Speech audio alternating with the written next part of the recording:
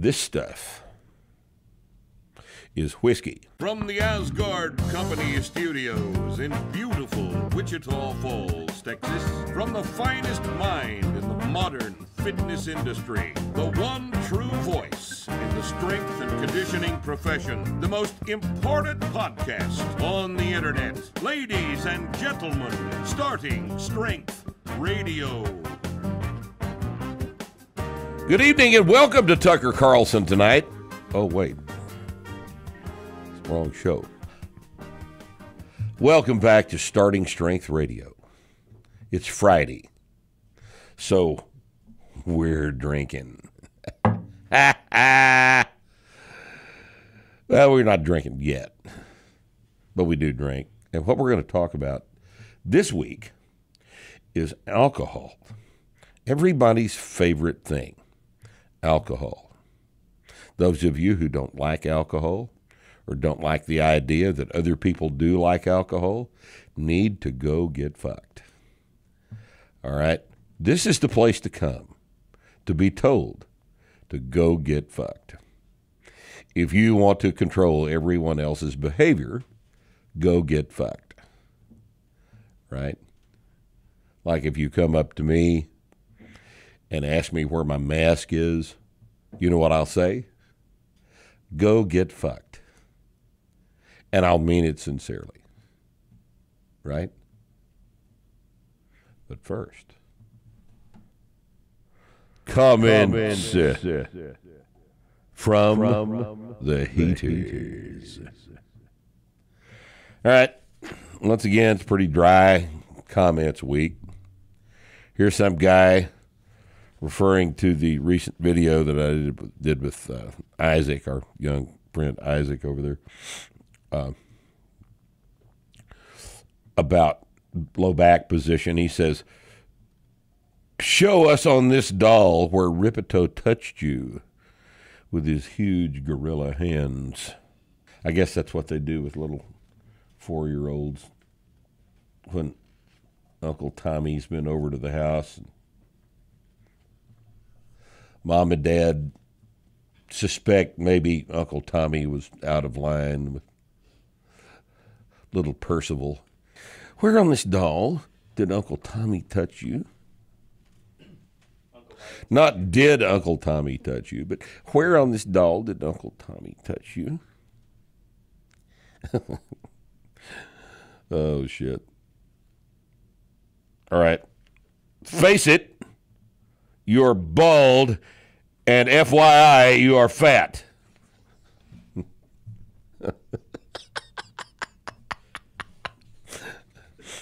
no shit, I'm bald. I'm not completely bald. I mean, Nick's completely bald.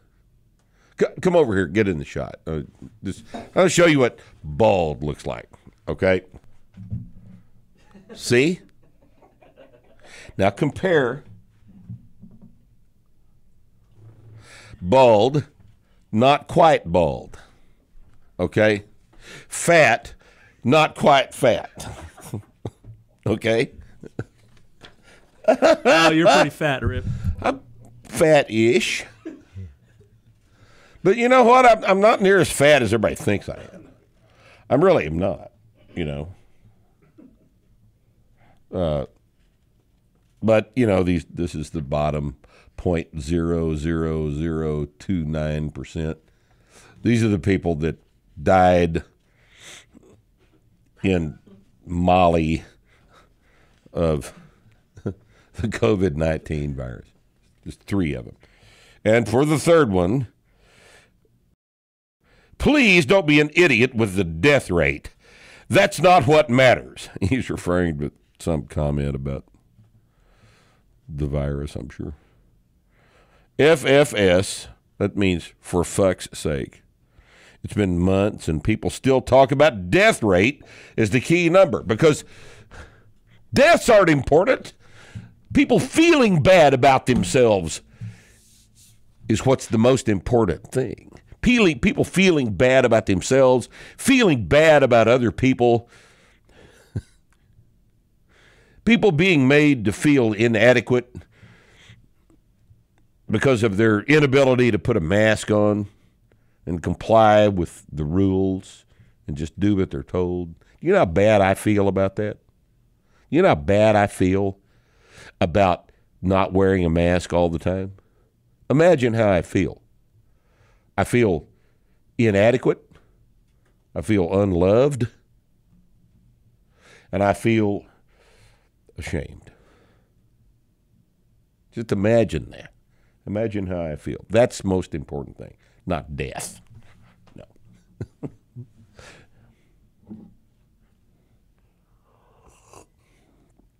Cup of doo doo here. Right? And that's comments, comments uh, from, from uh,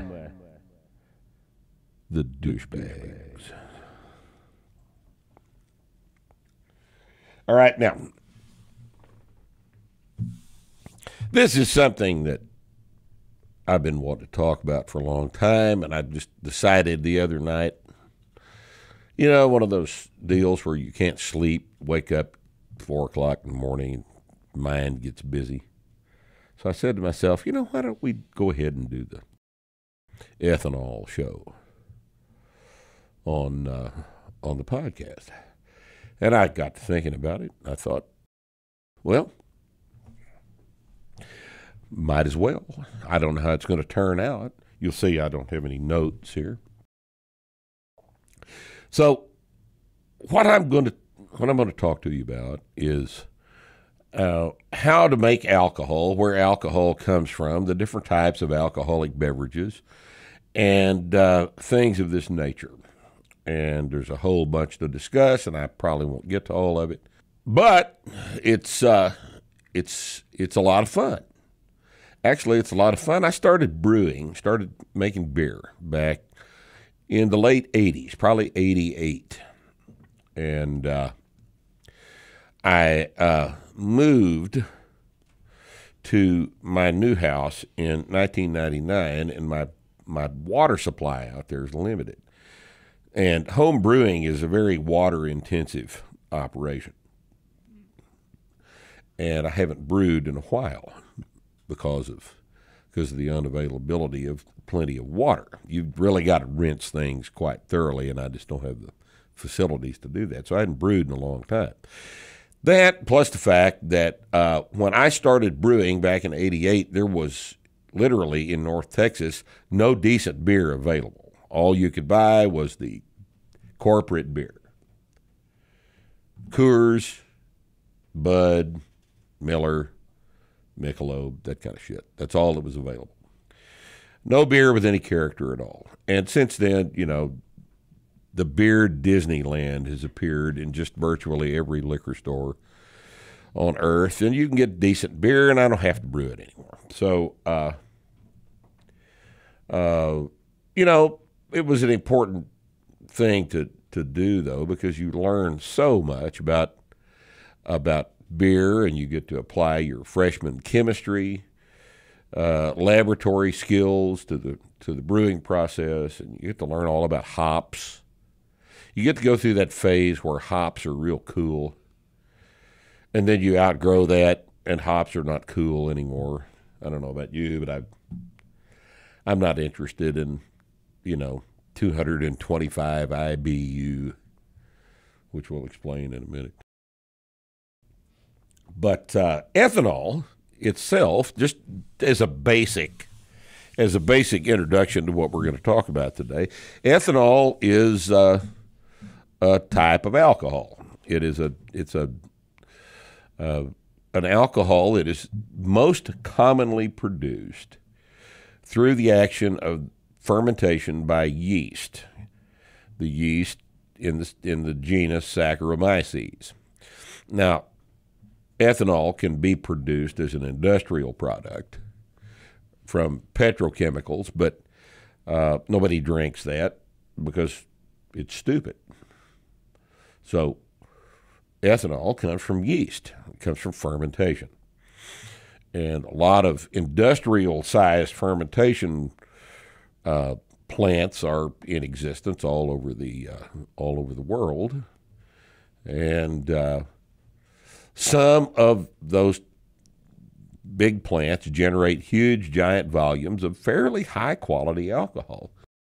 And they all are based and rely upon the action of yeast uh, and sugar. Okay. Basically, yeast is a little fungus. It's a little fungus. There are thousands and thousands of species of yeast. They're found all over the place. They're fairly ubiquitous.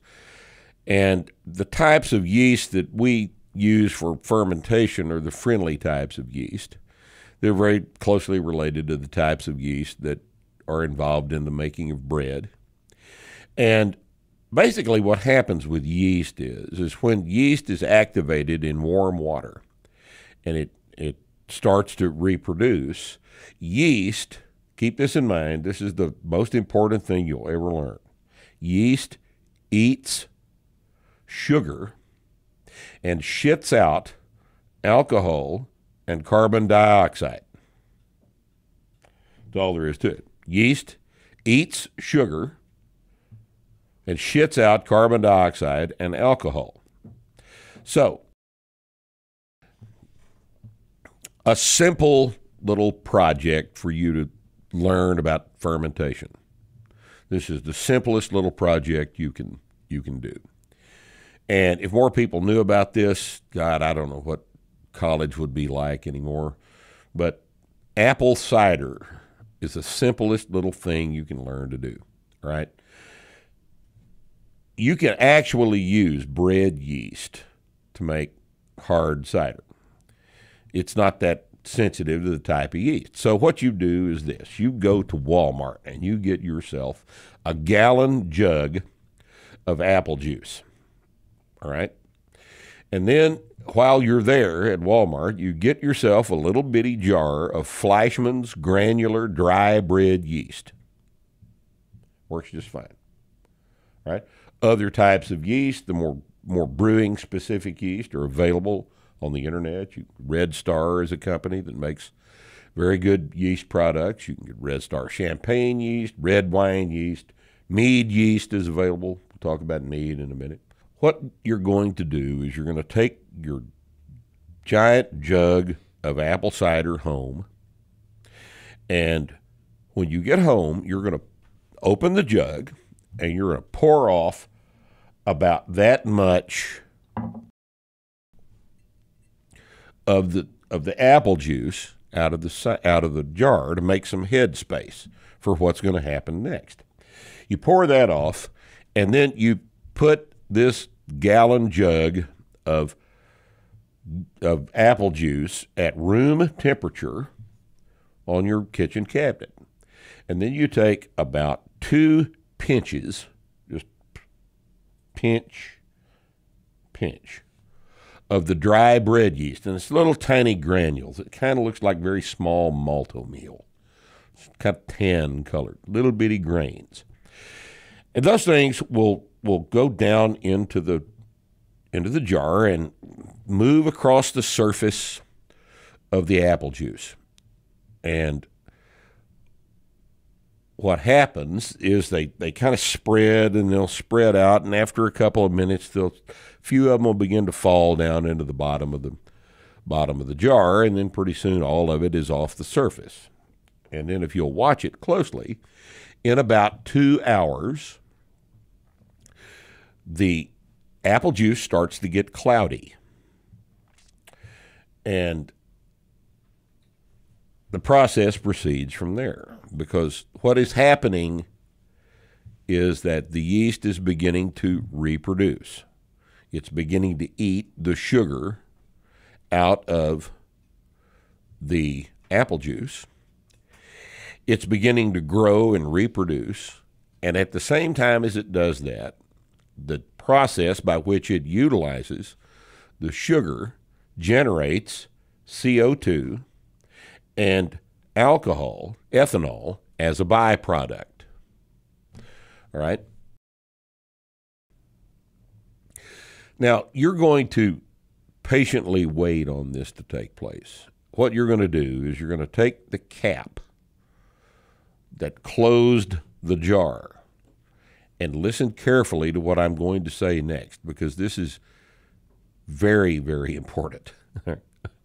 You're going to set the cap down on top of the jar of the bottle, the jug of apple juice, but you're not going to tighten it down. Do not tighten the cap. Set it there. The cap's function is to shield the contents of the jug from anything falling in from the outside. But if you tighten it down, bad things will happen very shortly because remember, the yeast is excreting alcohol and carbon dioxide. The carbon dioxide is going into solution in the apple juice. And once it gets to a certain point, it wants to outgas, and then pressure will begin to build between the top of the jug and the fluid level inside the thing. Remember, you made a little head space for this to take place. Now, the thing's going to foam also. It's going to foam, and the head space is to keep the foam from running out onto the cabinet, right? But what is what is going on during this process is very very important. The yeast as it secretes carbon dioxide is putting the carbon dioxide into solution into the apple juice. In other words, it's carbonating it. And this kind of carbonation uh, is uh, is very very interesting. When you when you buy a Seven Up at the at the store, you'll notice that when you open the Seven Up or the Coke or whatever, the bubbles are real big, right? They're big. They stick to the side, the inside of the jug, and this is because those types of drinks are artificially carbonated. They just apply pressured up CO2 to the liquid. And when it comes out, it comes out rather robustly. These types of bubbles that are formed during natural fermentation in apple cider, in beer, in champagne are tiny little delicate bubbles that feel so beautiful on your tongue, all right? So, you are now in the process of making alcohol and a carbonated beverage. All right. And the longer you leave the cider at room temperature now, it doesn't like to be cold. It won't work when it's cold. So you have to leave it at room temperature.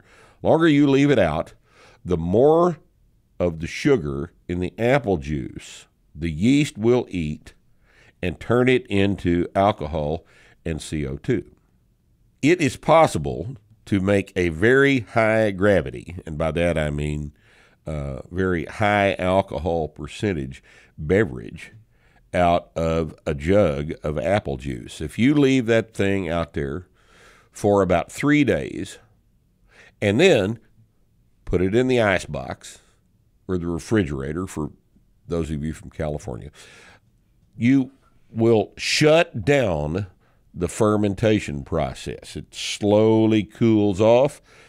The yeast goes dormant. All of the things that made the made the mixture cloudy flocculate out and settle on the bottom, and you'll in about two days will have a nice, clear, fairly sweet, bubbly, mildly alcoholic beverage, a cider. In the icebox. Once again, don't screw down the lid. Don't do it. Bad things will happen. Oh God, yeah. You this pressures get out of control real easily. Uh, God, we made a batch of beer one time, and we were using Grolsch bottles. You know what those things are? The flip top, real heavy glass, green glass Grolsch bottles. And this beer really got out of hand. It was it was I put about 20 pounds of malt in the damn thing, and it was, I don't know what the hell was going on in there. We had him in a wooden closet and came over one day to check the thing, and one of those bottles had exploded in the closet and had put a piece of glass about that far down into the board. A shrapnel, a piece of shrapnel, is green glass embedded in the wood lining of that closet. And you had better believe I carefully carried those bottles over to the sink and flipped them up and vented them. But it was so the pressure can get out of control real quick. So again, don't screw down the cap. Now, if you want a real highly alcoholic uh, dry cider, you leave it out longer. And I've left it out for ten days. And my my estimate, I, I don't know how to calculate it from Rogan. That's Rogan again. letting you know he's coming to Texas. If you want a sweet cider, you can put it in three days is plenty of time to get a little bit of alcohol and get the thing carbonated. If you want a dry cider, uh, where the yeast is eating essentially all of the sugar out of the apple juice, uh, you will have a very high gravity, a high alcoholic percentage product. Some probably gets up toward seven, eight percent, and uh, it'll be a lot less yellow. It'll kind of change in color, and uh, that kind of cider is real good. A sweet cider would be what three, five percent, or It might be three percent. Yeah, it might be three percent. It's going to be three, three and a half, but not any more than that. But my God, one one of these ten day ciders, holy God, you can get drunk before you know you are on this stuff. It's it's fairly high, high alcohol by volume percentage. It's uh, and it's it, this is so easy to do. If college kids knew this. I mean, assuming they weren't the lazy little bastards we were. You know, college Oh, kids college- knew this. College kids just drink the worst crap. They don't care. Well, but this is free. A gallon of cider's four bucks. Bud Light's almost free. Bud Light's more than that. You can get a gallon of Bud Light for four dollars. Can you? No, no, you're I don't. right. I don't think I, this stuff's cheap. It's cheap. And if you want to get better at this, then you invest in a little envelope of Red Star champagne yeast. You know, just use better yeast, and the flavor's a little cleaner. It doesn't quite have the bready kind of a smell that that uh, that a bread that Fleischmann's bread yeast would produce in this, right? And uh, and you've got a gallon of pretty high quality drinking alcohol for not a hell of a lot of money. You can make three or four gallons at a time and have a hell of a party for less than twenty dollars. I mean, a hell of a party for less than twenty dollars, right? But you know, but you just have to. Yeah, you, you have to actually have glasses and stuff. You know, you gotta pour the shit into your glass out of the. Yeah, a little more work than just opening a can of beer. Would you mind very quickly defining flocculate? Flocculate means when things that are in suspension uh, come out of suspension and fall to the bottom of the uh, fluid in which they are suspended. And I'm sure that our fact checkers at Snopes will fix that for sounds me. right. I think that's the correct definition of flocculation. So, uh, and you could cause flocculation to happen. You know, there are substances that will clear fluids out, but if you put this cider in the ice box, it'll clear by itself, and you'll have a layer on the bottom of dead yeast and little things that in beer we call trub. That's the stuff on the bottom of the fermentation tank. Yeast husks and you know crap like that. Uh, and it you know you you could if if you get real good at this, you can pour off the vast majority of that gallon of cider into a glass and not have any any uh, cloudiness come off the bottom of the deal. It just takes a little. That's a hand skill, and you, you'll work on that. All right. So this is just the basic fermentation experiment that you can do. It's apple juice and bread yeast. And you can get fancy with fancier types of yeast. Now, how does this apply to other alcoholic beverages? All right. Well, let's first talk about beer. Okay. Beer is a product that is made from the fermentation of the solution of sugar that comes off of malted grain. All right. Now, malted grain is usually, you know, 99% of the time refers to malted barley because barley lends itself better to this process than any of the other grains. All right. Malting is an interesting process, and you have to understand how this works. So, this is a two or three layers of complexity above just fermenting apple juice, right? Well, you know what? Let's go back to mead because mead is is along the same lines as apple juice. Mead is made from fermented honey. It is perhaps the oldest fermented beverage on earth.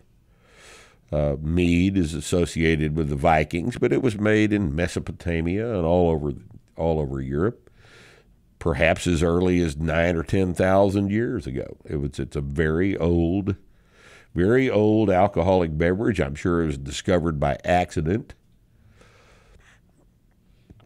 Honey coming from bees and yeast, wild yeast, getting in honey if honey happened to get in a in a container and got some yeast in it and fermented. And uh, it was it, it, it, lots and lots of people made mead. It was a it was widely available.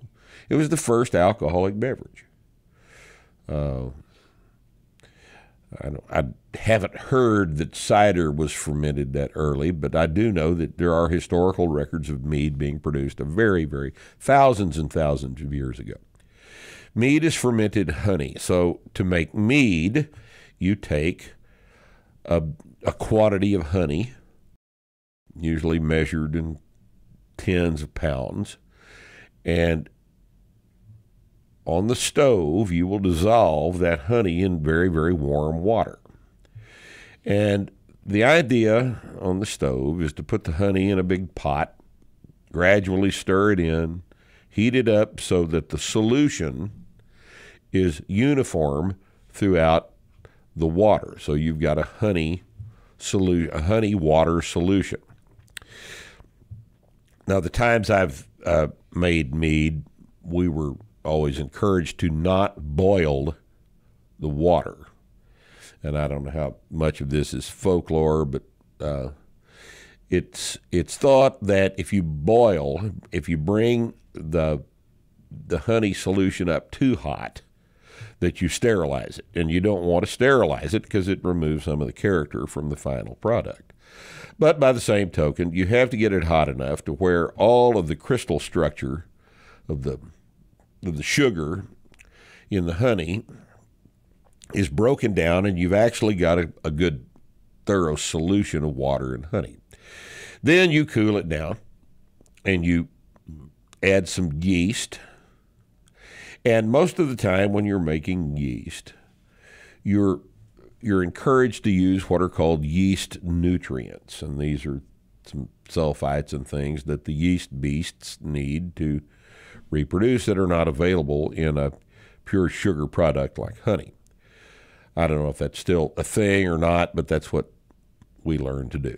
And uh, a good uh, dry mead is a wonderful wonderful beverage. I've had some excellent mead before, but unfortunately, most of the commercial meads that you can buy are just honey sweet. They're just horrible. You know, they're probably five percent ABV, and they're just they're that it's not something I'm interested in. I like a nice dry mead, which approaches the quality of a good wine.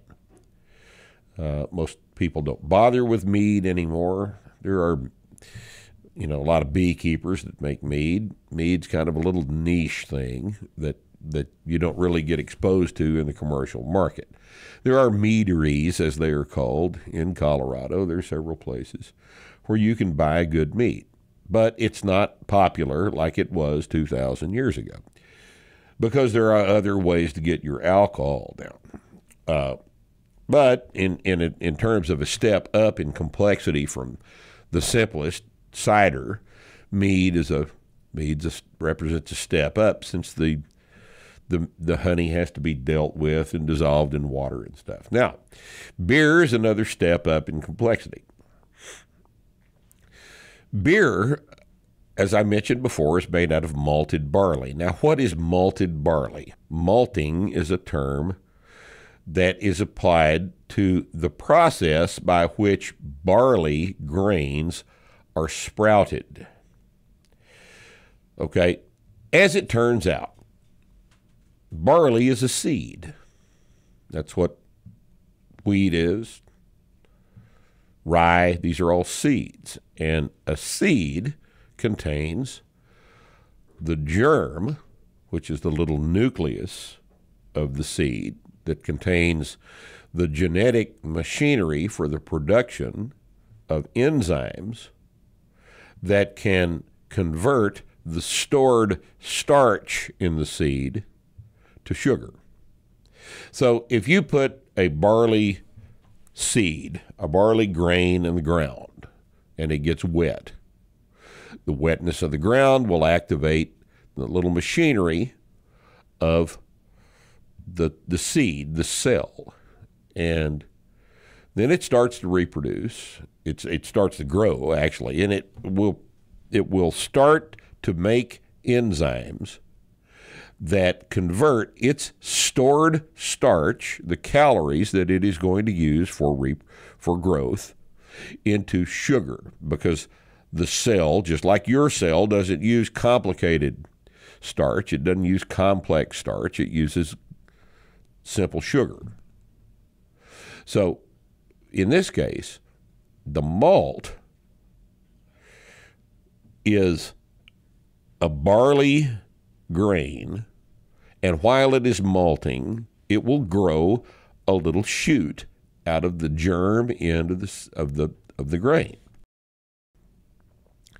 Once the thing is produced, this little shoot out of the end of it, it's just a little hair like thing that comes growing out of the seed. You all know, know what I'm talking about if you've seen seeds grow. Uh, once that process has taken place, there are now enzymes present in that grain. Now, when we malt barley, we place it in uh, what used to be called, I'm sure there are industrial processes for this now. We place barley on the floor of a building that has been heated with fires underneath the floor. We spread the grain out on the floor and then we flood the thing with water. And we hold this is this is what happens in what the a facility called a maltings. And the the the malt sprouts on the floor in the water, in the warm water, and it's a particular temperature and it's held there for long enough to where the, the malt is fully malted, to where the the the uh, the stuff that the cell is going to use for growth is fully developed and it's beginning to it's got the enzymes in the malt that are necessary to convert the starch to sugar. Now, you may be familiar with malt from grape nuts cereal. If you ever had grape nuts, that is what malt tastes like. It, that's a that's a grape nuts is very old cereal. It's made out of malted barley, and it was they bake it into little cakes and then they grind it up and put it in a box and you put milk on it and eat it and it's good. Real crunchy and hard, but that's the flavor of malt. And then they figured out that brewing can produce it can can be can be facilitated by the by the use of malt. So you take this sprouted malt, and once it's all sprouted, you drain the water off of the floor. All right? And then you dry the malt. You dry the malt and you dry it and it once again looks like a piece of grain. And during the drying process, the little the little sprout is knocked off of it. And you've got you've got malted barley. Now you could take malted barley and put it in your mouth and eat it, and it tastes kind of like grape nuts, right? But remember, the reason we malted the barley is so that we get the enzymes that can be produced by the germ of the malt seed because the enzymes convert starch to sugar. That's what the enzymes we're after do. They take the starch, the complex stored form of carbohydrate, and break down the bonds so that what comes out at the end is sugar, not starch. All right? So let's say you buy some malted barley. You buy a sack of malted barley. And then you take that sack of malted barley home and you put a bunch of that malt in some water and you heat it up to 143 degrees. And you hold it at that temperature for a period of time. What happens then is that the enzymes activate, convert the starch in the malted barley into sugar. The sugar comes out of the grain and soaks into the water that it's being held in. And now you have a, a substance called mash. And the, the vessel this takes place in is called a mash tun. And when you are mashing the the malted barley, what you're doing is obtaining a sugar solution from the starch that's in the malt. This is called mashing. So if you ever hear the term mash, that's what this means. Now, after a period of time, and this is above my pay grade, I've never done brewing from grain. I just use malt extract, the cheap freshman in high school way to do this. But actual brewers will actually go through the process of malting the grain or, or, or mashing the grain and, and making beer out of mash. And after a period of time, you hold the the mash at a certain temperature, then you drain this the water off, and now this is called sweet liquor. And then the process can start because now you have a sugar solution that you have derived from malted barley. And the character of the sugar solution is obviously going to be different than the character of apple juice, isn't it? Because all of the other stuff that was soluble in the grain is also in the sweet liquor. And then you put yeast in that and hops and you ferment it and you deal with it in ways that brewers know how to do, and beer comes out on the other side. Okay, and that's how you make beer. You make beer through the fermentation of the products of malted barley. Okay. Now, this is, uh, uh, it, it can be a very, very complicated process, and it's real easy to screw this up, too. Uh, all of your equipment has to be clean because the best way to waste a whole bunch of money in a situation like this is to get all of this infected with some kind of bacterial uh, contamination. You don't want that. All of your equipment has to be clean. Everything has to be in good condition. You've got to use good sterile laboratory technique. It's not quite as as uh, as complicated as cancer research, but it does involve some kind of laboratory expertise, and you have to be careful with what you're doing. Uh, and then at various points, depending on the type of beer you're going to make, you're going to add various types of hops. And, uh, you know, we're not going to go into the specifics of home brewing here, but those of you that are interested in doing this can certainly figure out a way to to look this all up. See, back in the 80s when I was doing this, there wasn't an internet. We just had to look at little cheap books and stuff and fuck things up three or four times and figure out what we did wrong the hard way and and do it again and try to do better next time. But I I made several very very good batches of beer a long time ago and it's just not that complicated. Now, the way I did it, as I mentioned earlier, was through malt extract. There are companies that will take malt,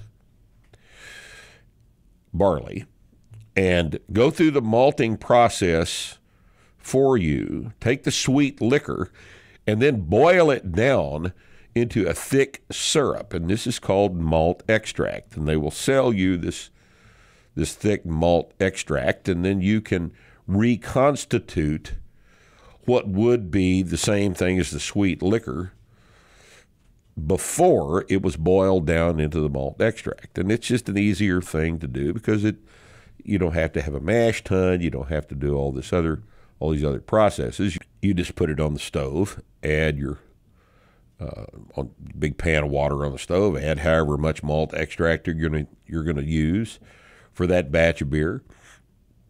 And you can make very, very good beer out of malt extract. That's how pretty much everybody starts because of the complexity and all the expensive equipment it takes to actually handle grain. So, brewing from malt extract is kind of the intro into into home brewing, and and uh, brewing from grain is a step up in complexity. Now, so far we've been dealing with with spirits, with alcoholic beverages that don't require any distillation. We'll talk about distillation in just a minute, but there's one more one more thing that needs to be discussed, and that is wine. Wine is fermented grape juice. Okay. Now, wine is much more complicated a process than it sounds like. All right. Yes, it's true that you could go to the grocery store and get some Welch's grape juice and bring it home and put some yeast in it and ferment it and try to drink it.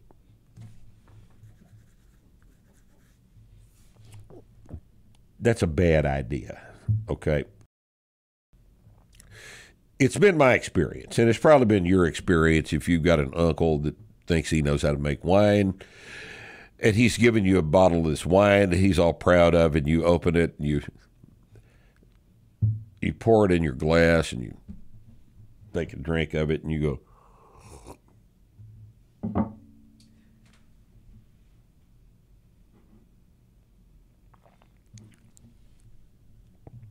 Oh, yeah, Tommy, that's real good.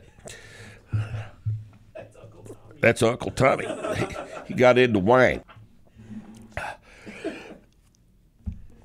And that, you know, uh, because wine is best left to professionals, okay?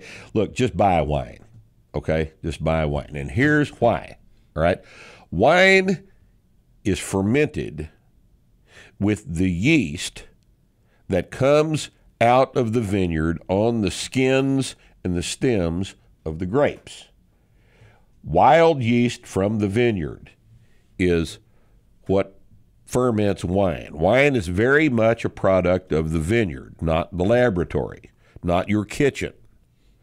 All right? Wine is produced in the winemaking areas of the world. It's an extremely delicate product. It depends on lots and lots and lots and lots of variables. And, uh, you know, the weather, how much sugar was in the grapes, when the grapes matured, if they're late, if they're early, uh, how much rain there was, what kind of soil they're growing in. All these things are, are, are, are critical for, for uh, production of wine, and you buying some grape juice, even if you buy Cabernet Sauvignon grape juice from some dumbass in California that wants to sell you five gallons of this stuff, you're not going to make wine. I'm telling you, you're going to make fermented Cabernet Sauvignon grape juice. It'll be undrinkable shit. All right. It's just how many have had homemade wine, right? Rusty's had it. Carmen's had it. It's undrinkable shit you have to try to be gracious, you know. Oh, you did. You were honest with him. I was gracious. Oh, I, you know, it depends on who's giving it to you. Oh my God! But it's just you know, homemade wine is just it's like a homemade car. Okay. I, you know, this is just some things other people do better than you, and wine is one of those things. All right, now, now, this stuff is whiskey. All right. Oh, whiskey's good. Now, what is whiskey? Well, whiskey is a product of the process called distillation. Right? Distillation is a process by which a solution consisting of different components can be separated from the components of which can be separated from each other by heating. For example, in a beer, you have water and you have alcohol. And water and alcohol can be separated from beer because water and alcohol have different boiling points. The boiling point of ethanol is much lower than the boiling point of water. Let's say you take a batch of beer that doesn't have any hops in it. We'll call that the wort. W O R T, that's the wort from which beer will be produced once you put the hops in it. And let's say you decide to that you'd like to get the alcohol out of that out of that wort and leave the water and you boil it. And you've got what's called a piece of equipment called a still. Well, the still gathers the the the vapor as it comes off of the heated liquid and I'm just pulling these numbers out of my ass. Water boils at 212 degrees Fahrenheit at sea level. And alcohol, that's not out of my ass. That's the actual that's the actual boiling point of water. But the boiling point of ethanol would be, let's say it's 175. 173. Excellent. That was close. What? So what happens then is that when the the the wort gets up to 173, the ethanol begins to boil off of this combination of water and ethanol. And then the still collects that vapor and condenses it, and it runs down into another container. And if you boil that wort until the most of the alcohol is, is boiled off of this, then you have distilled the alcohol from that solution. Now, some of the things that were in with the alcohol also get carried up into the vapor so that the alcohol contains a lot of characteristics of the original liquid that it was distilled from. Okay. This is the basic process by which whiskey is produced. So if you take a, a malted barley solution and you ferment it, and you get as much alcohol in that as you can with your yeast process, and then you boil that and distill it off, then you are obtaining the alcohol out of this malted barley solution.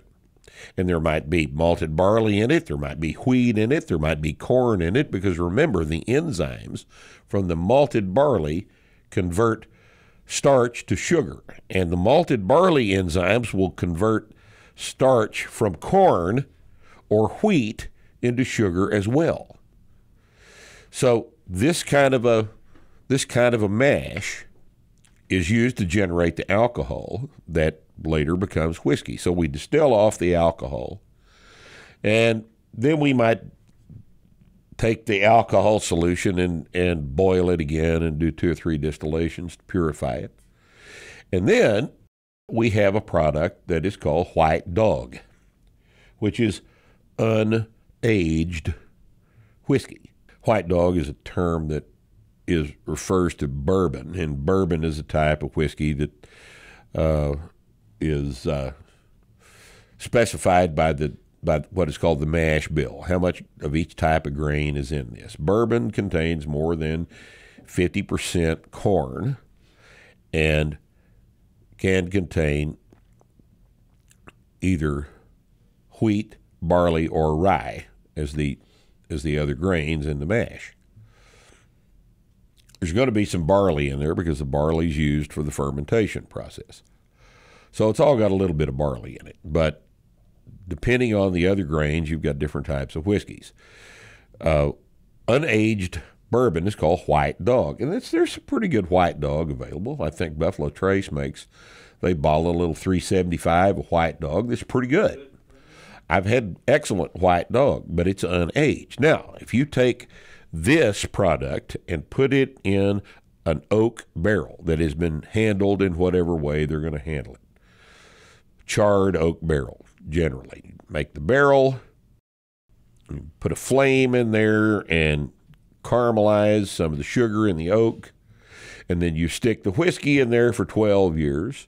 Then the whiskey that's in the oak barrel will take on the characteristics of the oak in which it has been stored for all this length of time. Age is whiskey's friend. And the longer it's in there, the smoother it gets. I'm not exactly sure the chemistry of the of, of the smoothing process. All right, uh, that's also over my pay grade. But when you buy whiskey, you expect to pay more for the age, and because age is the friend. All right, it, the longer it's in the barrel, the higher the quality the product is going to be. That's why 25 year old Macallan Scotch whiskey is $1,000 a bottle. And I know that sounds stupid, but if you're really into scotch, It's more than that, isn't it? I, at 25, I've heard of 50 year old Macallan, which is five figures. What was he drinking in, uh, in the Bond movie? That was 50 year old Macallan. that he that he drank out of a shot glass. Right, right. That's how you know that was actually tea, right? So, whiskey is the product of distillation. All right. Now there are several different types of whiskey. I mentioned bourbon. What is Scotch whiskey? Scotch whiskey is a is is a an interesting product that probably predates the American product called bourbon. Scotch whiskey is theoretically 100% barley malt. There's no other grain in Scotch whiskey. Now, there is a product for sale called blended whiskey, which is basically at least 40% Scotch and the remainder, remainder of it is vodka, basically. And they, the Scottish government allows that to be sold as blended whiskey. And, you know, Chivas and Cutty Sark and black and white and Dewar's and all that shit is that's all uh, blended whiskey. I don't need to be drunk that bad, so I don't drink it. Uh, single malt Scotch whiskey is the product of one distillery, and the, the Scotch whiskey goes through a different process than uh, than other types of whiskey. When let's go back to the malting process. When you have a maltings and you've got the little wet seeds of malted barley laying on the floor, and we drain the water off, and now we've got this wet malted barley. If we're going to make scotch out of it, what we're going to do is we're going to dry that malt over a fire made of peat. And peat is the is the stuff that grows in Scotland and it also grows in Japan, interestingly enough. It is a, an accumulation of the sphagnum plant that goes, it lays on the ground and it accumulates in peat bogs. And this stuff is dried. It's cut out of the peat bogs and dried and used for fuel. But it is, in this particular case, you set a peat fire underneath the malt, and the heat and the smoke from the peat fire dry the malt and therefore flavor the malt.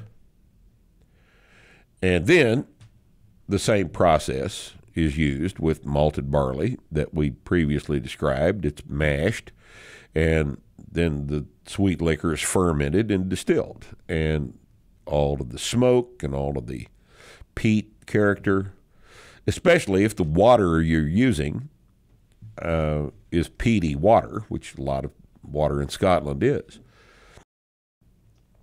These are uh, the things that add to the character of Scotch whiskey that's not found anywhere else. Now, I will say that the the Japanese are making a very damn good copy of Scotch whiskey these days. Japanese malt whiskey is what it would be called, and it's there. That industry's come up quite a bit. Very high quality products over there. Yamazaki and uh, Hakushu. There's several different types of of very good malt whiskey that are that are coming out of Scotland that are uh, essentially the Japanese are very very good at copying things, and this is one job they've done very well. In contrast, the Indians don't seem to understand this process. There's a some some Indian whiskey called Amrut. Don't buy it. And you know who else fucks this up? The Canadians. the Canadians do not make beverage alcohol. I'm sorry, there aren't any whiskey people that will agree that there's any beverage alcohol being produced in Canada. Somebody's typing the word whistle pig right now. Whistle Pig is not Canadian. It's not Canadian? I No. It's Canadian. no, it's a rye whiskey. It's an overpriced rye whiskey in the United States. Uh, but the, the, the Canadian, all the little girls at 10 Bar in Canada think that Canadian whiskey is, is rye whiskey, and it's not. It's the rye whiskey version of. There's some rye whiskey in it, but the laws in Canada allow them to. Well, there aren't any laws in Canada. It's a, it's a, it's the wild west in terms of a distilled beverages in, in Canada. And I, I'm sorry. Look, this isn't my fault. You guys want to be taken seriously? Start acting seriously, but you're not making a fucking drinking product up there. Hell, I don't even like Molson's. I think their beer is shitty myself. You know of a decent Canadian beer? Labatt's, is that any good? I've, I've had it. I wasn't even, it's like Coors. You know, all of it tastes about the same. But, uh, oh my God, somebody comes, Crown Royal. Oh, that's, that's all I drink Crown Royal. Only the best for me. what are you, 14? Oh, God. Anyway. So, distillation. Distillation produces whiskey. We get all these these high alcoholic level products. Al- ABV, alcohol by volume, is the is the measurement by which all of this stuff is reckoned. Now, forty percent is eighty proof. Proof is basically twice percent and it's an old measurement that used to be uh, used. I think it has actually something to do with whether the liquid will will light on fire by itself. I'm not exactly sure about that. You ought to look that up. That'd be a good thing for you to do is look that up. What proof actually means. But proof right now is that number is twice the ABV. So if you've got an 80 proof whiskey, that is a 40% ABV. All right. Now, distillation can be applied to other things than just beer. Essentially, whiskey is distilled beer. All right. Brandy is distilled wine.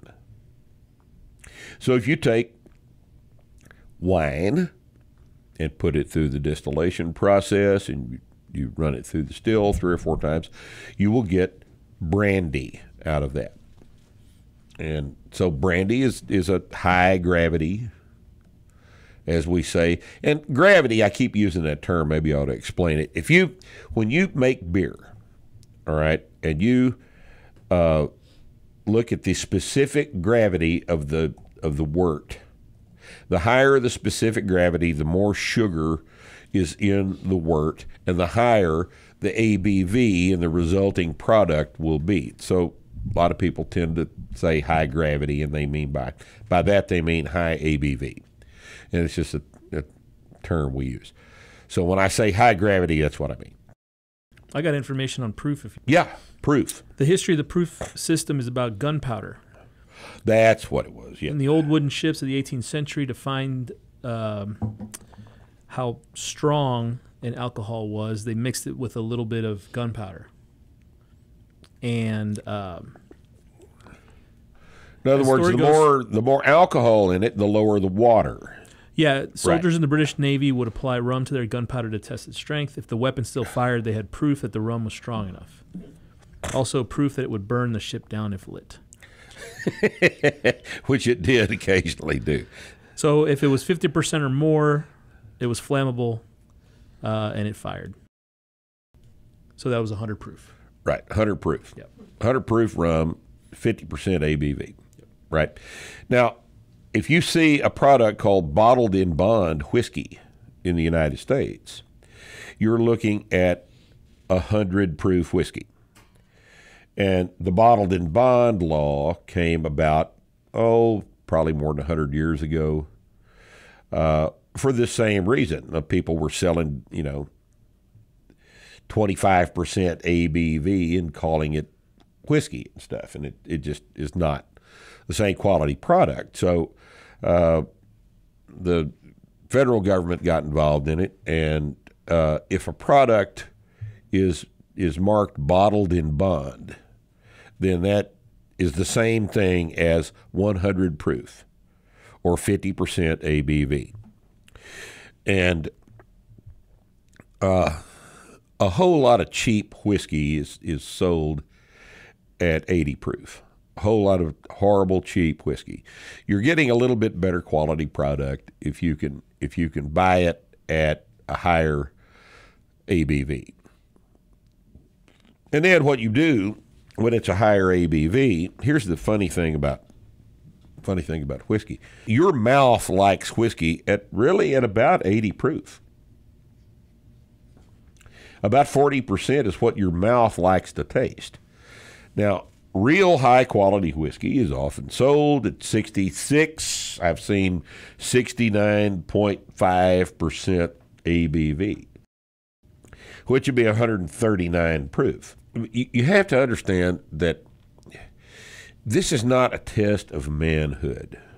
Okay? You're not supposed to drink whiskey at 66% ABV. That's not what your mouth wants to do. You can't taste anything if you do that because your mouth is a water based system. Your, your nose is a water based system. And if you put something in it that is 66% ABV, it, the, the mucosa don't react well. But here's a more important piece of chemistry that's involved in this thing. If you've got a whiskey at 66% ABV, a lot of the stuff in that whiskey is dissolved in the alcohol fraction of the whiskey. And at 66%, that means that only 34% is water. But remember, your mouth and your nose like water things. They're aqueous based systems. So if you take a bottle of, or you take a dram of whiskey at 66%, what you should do and what you'll learn to do before you waste any more money is to water that down a little at a time down to where you want it to be. And you want it somewhere in the vicinity of 40%, 43% maybe. But but certainly not 50. You know, the fact that you can drink it doesn't mean that it tastes better there. All right? And there's a there's a there's a thing you can do. You'll take a real real high quality bourbon that say it's bottled at sixty six percent. I've got a bottle of Thomas H. Handy Sazerac at the house that I think, if I remember correctly, that shit's sixty seven percent, sixty seven point three or whatever it was ABV. Well, what you've basically got there, if you'll think about it, is you have a bottle and a half of whiskey. You know, you take an ounce of that, put an ounce dram in your glass, and then you add water up to about an ounce and a half, and now you've got it down to about 40%. And what you do is this it's an interesting experiment. You'll take the water a little bit at a time, put it in the cup, and the cup should be shaped like that, not like this, but like a, a snifter. Let me have that real quick because this is important. Glassware for this kind of thing is very important. All right, if you'll look at this, this this cup is shaped to contain the vapor column over the top of the liquid.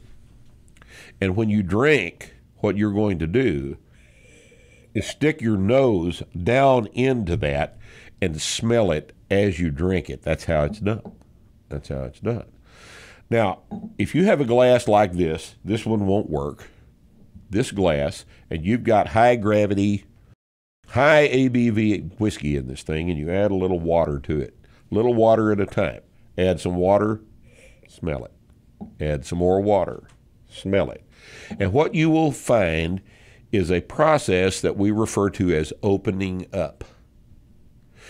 The, the, the flavor and the, the nose opens up as you get more water in there and more of the things that are contained in the alcohol fraction come out of solution and go into the water. That's where they're accessible to your mouth and your nose.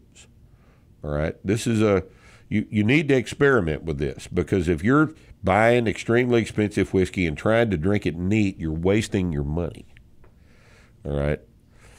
It's that's a stupid thing to do. This once again, this is not a manhood test. This shit is expensive, and there's not any point in wasting it. All right, real, real good, expensive whiskey at high ABV needs some water. It's supposed to have some water. You're supposed to water it. Do it carefully. Don't overshoot it. Okay? Now, I started to talk about brandy. Brandy is distilled wine. Whiskey is distilled beer. Brandy is distilled wine. All right?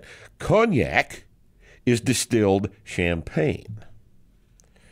Armagnac is a distilled, it's a brandy from the from a specific region in France. Champagne region is a specific region in France. These are all distilled spirits.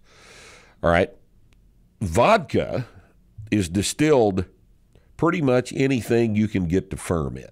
You can make vodka out of wheat, you can make it out of rice, potatoes have been used to make vodka, Polish vodkas, proudly made out of potatoes for some fucked up reason I don't really understand. But and good vodka doesn't really have much flavor. It's got kind of a sweet ethanol kind of a kind of a flavor.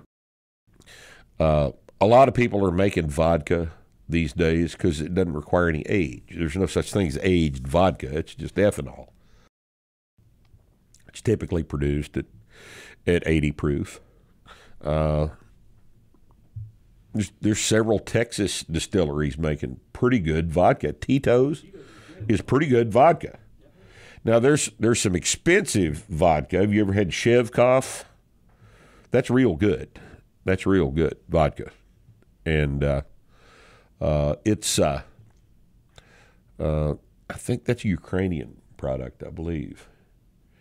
Uh, Stolich, Naya, I don't like that. Stoli, I don't think Stoli's any good myself. I, Shevkov's a much better product than that. Tito's is better than either one of them, though. Tito's makes a damn good product. You know what that's made of? No, I don't. Don't have any idea. See if you can look that up. It'd be interesting to know that. Where where are those guys? Are they in Austin? San Antonio. I think I don't know. Uh, Oh, they're in Austin. Austin. It's a that's a that's a damn good vodka. It really is.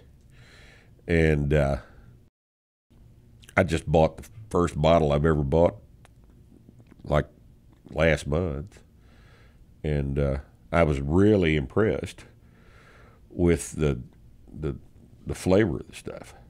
Now, the flavor of vodka is an interesting. It really is an interesting concept. It actually does not have flavor in the sense that whiskey has flavor. It's a good vodka is good because it doesn't have any bad flavor. That's that's the best way to think of a good clean vodka. Tito's is It- corn. Corn vodka. Interesting. So, you know, you can make vodka out of shoes probably if you've got enough of them. You know, it's just whatever you got laying around. Spaghetti vodka. I wonder if they make the Italians make spaghetti vodka. They ought to start. Now, gin. What is gin? Gin is flavored vodka, basically. Gin is grain alcohol infused with all kinds of things. Now, London Dry Gin is primarily uh, flavored with juniper berries, and that's about it. But the Scottish people make botanical gins like Hendrick's and, and the Botanist. Botanist is an Islay gin, uh, and I believe the Botanist is made by Lagavulin, that distillery on Islay. I believe it is. Uh, Botanist is widely available. That's the best gin you can buy all over the place. Hendrick's and, and Botanist are excellent products. But a lot of people, a lot of small distilleries around the country are making craft gin now. And the reason they're doing that is because it doesn't require age. Age is expensive. Age is expensive. If you've got the resources, and you're a big company like Buffalo Trace, and you've got the resources to make whiskey and keep it in the cask for 10 years, like Eagle Rare, and not make any money off of that investment for 10 years, then you're pretty well heeled, aren't you? You've got uh, enough money to sit on that investment and let the and let the thing grow. But smaller smaller producers, smaller distillers don't have the luxury of being able to defer a return on their investment for 10 years. So, you know, there's there's a lot of smaller distillers around the country right now that are selling what is really shitty whiskey, you know, for too much money because they I understand they've got to try to get their money back out of the thing. But this is one of the reasons that big companies make generally better whiskey than small companies. It's like like back to the example of a car. I I would not buy a car that Bobby had made for me. As good a mechanic as he is, he doesn't have the resources to make a car. So I'll buy a car from a big company and let him work on it. But I'm not gonna I'm not gonna buy pay fifty dollars for a bottle of whiskey from a small producer that I don't know anything about. I've done that enough times and wasted enough money on it to know that it doesn't work very well, and it's not what you want to do. Okay, age is in in terms of uh, whiskey. Age is quality, and age is money. Time is money. So keep all these things in mind. Uh, let's see, gin. What else do we need to talk about? Uh, This is, is uh, distilled. At, I don't even know how to say this. Uh, Bruichladdich. Okay. There you go. Yeah, Yeah. yeah. That's that's one of the other Islay distillers, Bruichladdich, uh, which is an excellent single malt Scotch. They've got lots and lots of different expressions. Uh, you know, twenty years ago, their Bruichladdich sold about two different expressions of their whiskey. When I say the term expression, if Lagavulin makes the standard sixteen-year-old Another expression would be the 10 year old. They sell an 8 year old. They sell a no age statement. They didn't used to do that. There was only one Lagavulin that you could get. So the market for all these distilled spirits has just exploded over the past 10 years.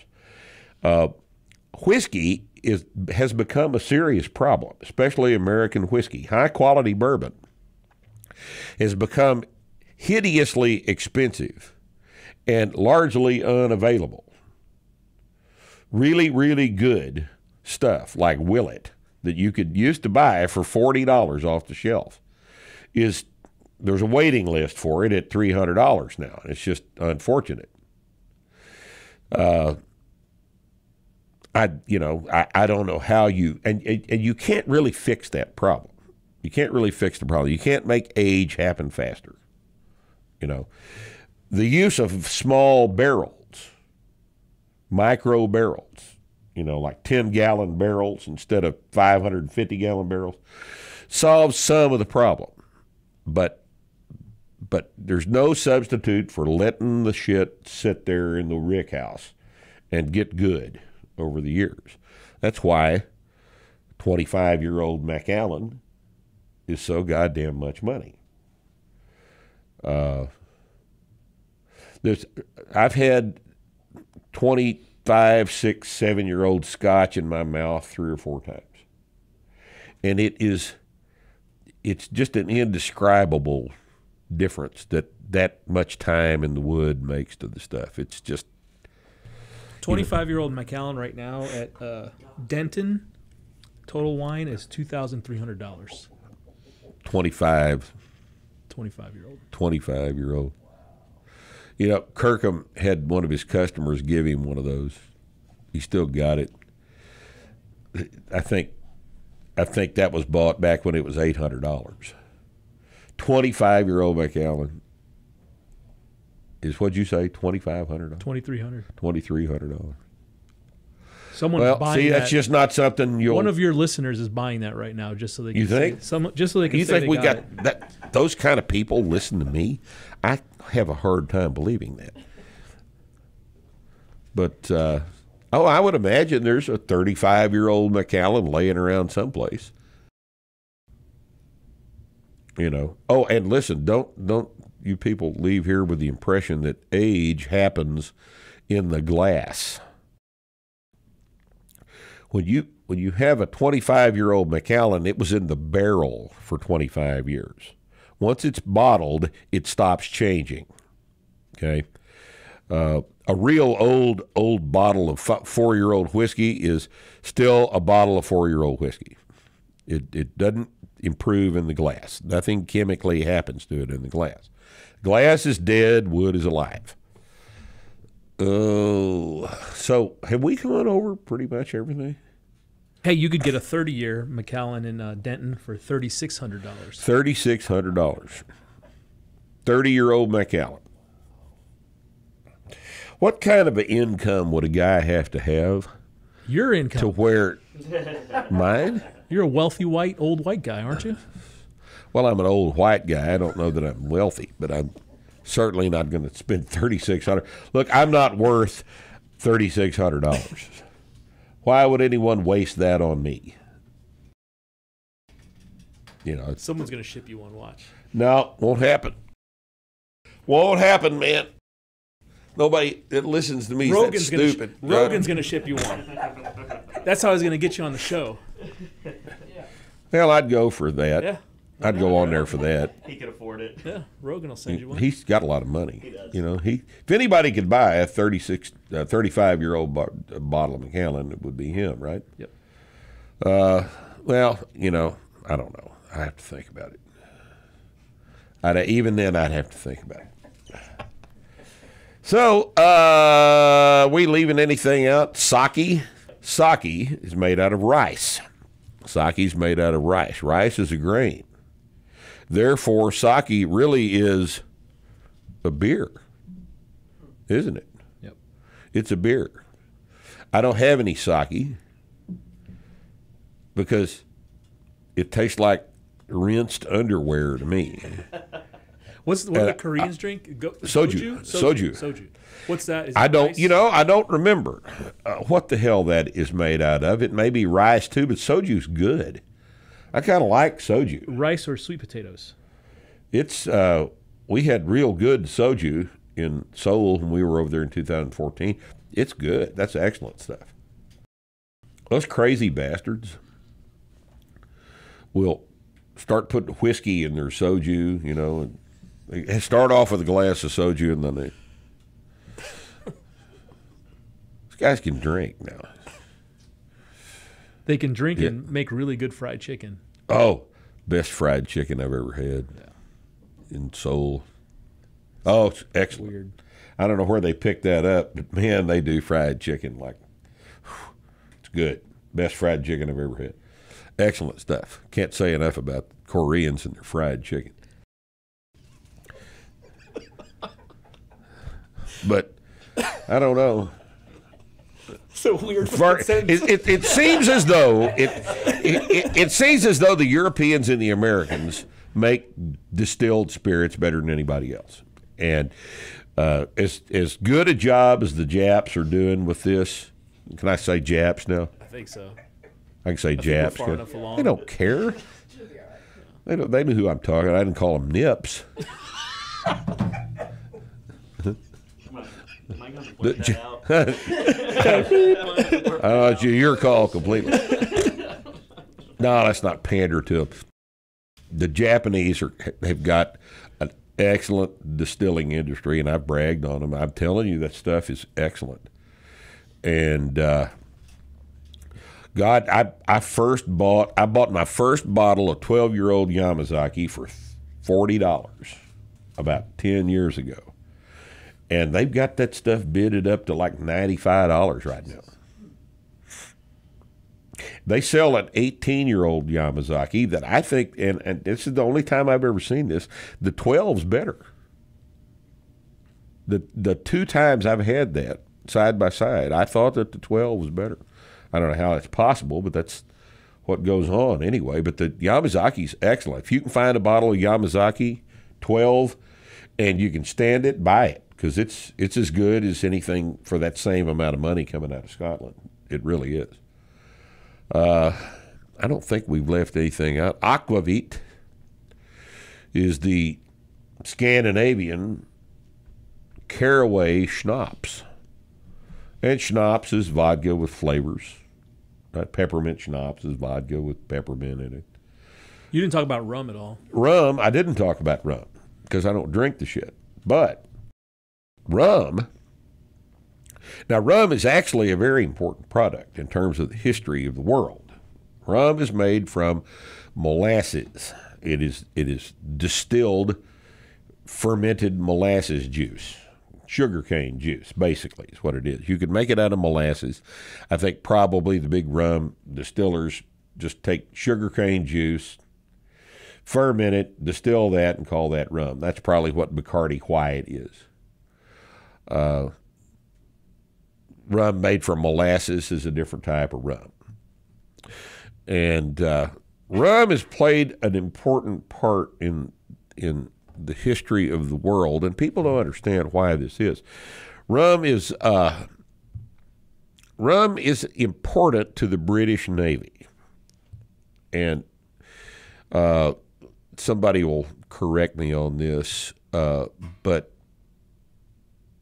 sailors uh, were allotted a rum uh, ration every day up until relatively recently.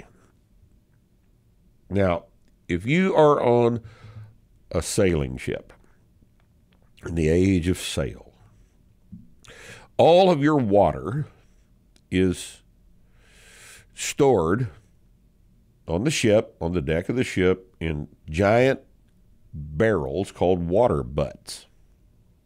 That water was obtained from uh, islands or or you know rivers coming off of islands or you know rivers coming off the the shorelines that they were they were nearby. They would go in in boats, fill up the water butts, and uh, all of their water was was you know meteoric water running across the ground. Well, that's filthy, right? You know you you know river water. You'll fill up your You've got to get water somewhere. If you've happened to be able to catch rainwater, you shape your sails into rainwater collectors, and it would that would work just fine. But if if you were You had to have every time you got an opportunity, you filled up the water butts on the ship. So, what sterilized the water? Rum. Sterilized the water. That's what the rum was for. All right? Every time a sailor drank water all day long, he was drinking a solution of water and rum. Because without that, everybody was sick. The alcohol killed everything in the water, which means that everybody was a little bit drunk all the goddamn time. Now, if you take rum and water and put some lime juice in it, you have a substance called grog. Grog, you put a little sugar in with the in with the water, rum, and lime, you've got a, a grog. And grog is good. It's an excellent drink. I've had it in fancy bars. Order a navy grog sometime. They'll make that with a with a good brown rum and some. Hell, I ordered that up in New York one time. Uh, a girl made that out of uh, Pusser's Navy rum, which you can buy. It's a brown rum. It's good. Uh, and lime juice and some fresh squeezed grapefruit juice. And it was good. Oh, God, that's an excellent drink. Uh, six water grog was reviewed was regarded as a punishment. It's weak grog. I think the, the standard would have been four water grog. In other words, four parts water, one part rum. But uh, this is how the British Navy for 200 years navigated the planet. In all, 1970 is when they stopped doing it. 19, they had rum as a daily ration up till 1970. Isn't that interesting? But it was it's a rum is an important. People don't understand that. What's amazing to me, you read the the Patrick O'Brian novels, and there is an entire, very complex technology that we don't that we've lost. We've forgotten all of it. Every bit of it's been forgotten.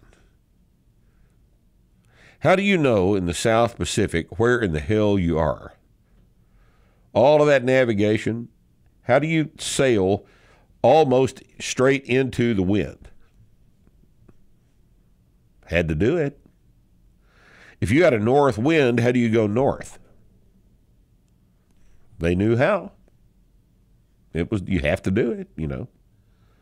You do it like that, but but that's how, but how do you do that? How do you know when to do what? It's just it's a terribly amazing thing that we've just forgotten all about. But rum was a big part of that. It, rum was a big trade item. All the the West Indies produced all that rum and all of that all of that trade. You know, the slave trade was intimately involved in all of this, and all of this world history is tied up in this one type of alcoholic beverage. It's amazing. Uh, what else we leave out? I'm glad we didn't leave out rum. That's very interesting stuff. Try some grog. Make yourself some grog. Pusser's Navy Rum, still available. Oh, it's good. Pusser's Navy Rum, little something a little sweet in it, and some lime juice and water, and you know, ice. British guys didn't have ice, of course, but we've got the luxury of ice. So yeah, well, you know, we'll probably think of something when we close up here, uh, and uh, you know, comments from the haters. Rip doesn't know anything about alcohol. Stick with what you know.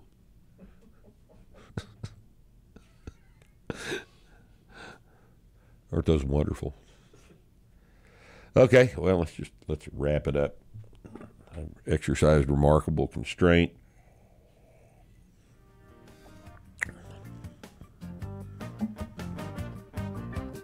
Later, Gator.